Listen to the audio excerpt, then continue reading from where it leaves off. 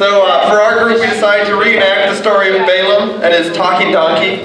So, in case you're confused by the costumes, Ben's gonna be playing a king, Steven's a prince and a donkey, eventually. Uh, Jimmy's the narrator. Uh, Cody, Cody's playing Balaam, and then uh, Justice. Justice is uh, he's playing God, as you can see by his suit and beautiful hair. And then and Spencer's playing an angel, a very very good angel. So I'll hand it over to Jimmy to narrate it. So I thought I'd tell you a story. So there I was. Actually, it wasn't me. It was the king of Moab, and uh, which was him. And he uh, he was a little bit concerned because the Israelite nation had kind of surrounded his, and they were kind of terrified. So he called for his handsome prince. I mean, uh, yeah, his handsome prince. Prince, I need you to tell Balaam to curse the Israelites. Okie dokie. So he, would- he was like, Prince, curse the Israelites.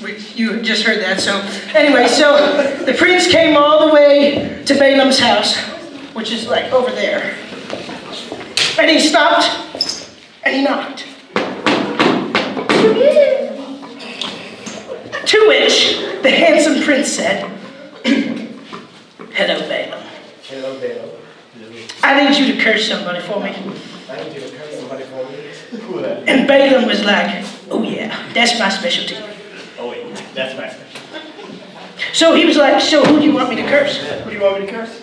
And then the, the Prince of Hints was like, Well, I'd, I'd like you to curse the nation of Israel. Well, I'd like you to curse the nation of Israel. The nation of Israel. Yeah. The nation of Israel, The yeah. nation of Israel. Yeah. Oh, well, that night, Balaam fell asleep right on his floor. And he got visited by God, which said, Yo, I don't want you to curse no nation.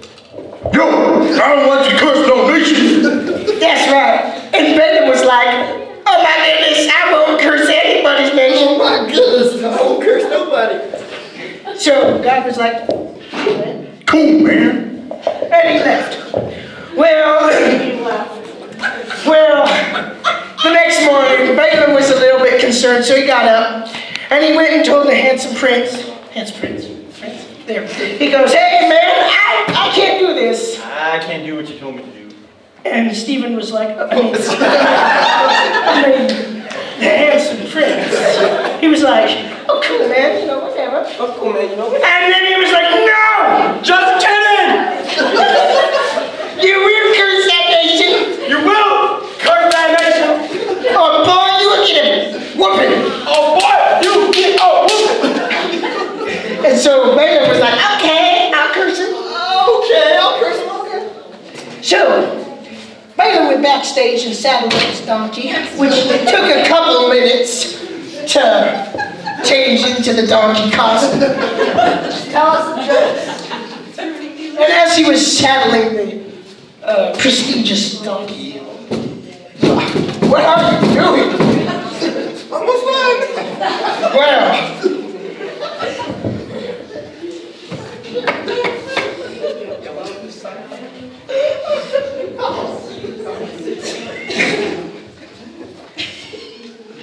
is the donkey reading?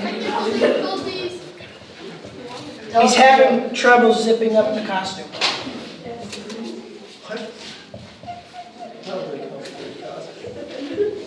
When suddenly appeared out of the backstage, Balaam and his donkey. Is he there? No. So I thought I might just. We good? We good? There we go! He came out on his handsome donkey. I mean, it's just his regular old uh, donkey. When suddenly an angel of the great magnitude of glory came out and he was like, oh my goodness, I don't want you to curse no nation. Well, Balaam didn't see this angel, but the donkey certainly did, and he was kind of terrified, obviously. And so he started going off to the left. And then Balaam was like, no, no, no, no, no. Go back to the right. So the donkey went all the way to the right and smashed Balaam's foot against the wall. Oh. To which he bait his donkey once more and veered him back on track. Well, the donkey, still terrified of the majestic angel, just stopped dead in his tracks. To which Balaam again whooped him.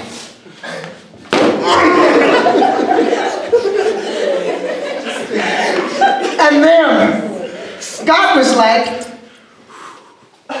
Yo, I don't want you to beat no donkey. Yo, I, I, I don't want to beat no donkey. So oh, he made the donkey talk. Of course, Balaam didn't see that either. But then the donkey was like, Yo, master, why you beating me these three times? Hey, yo, man, why you hit me those three times? And he was, and Balaam, instead of instead of like acting like this was an unnatural occurrence, he was like, if I had a sword, I would have killed you. If I would have had a sword, you would be killed. But then God opened his eyes to the angel. And he was like, oh my goodness, there's an angel. Oh my goodness, there's an angel. And the angel said, yo dude, why'd you beat your donkey three times? Why'd you beat your donkey three times? Yeah, why? Yeah, why? I'm, I'm slightly confused as well. To which the, the, the dude, he was like, uh, uh, well, he wasn't moving. this is really hot.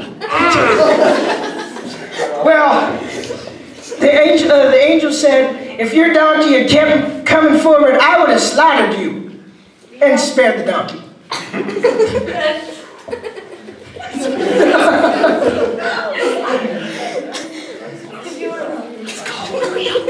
Well, let's just pretend he said that. Balaam got the idea. Anyways, Balaam got the idea. He got the general gist.